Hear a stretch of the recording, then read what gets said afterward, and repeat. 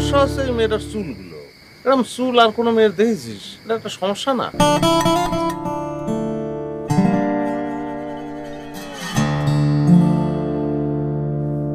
তুমি আমার খুব কাছে এসে বসেছিলে।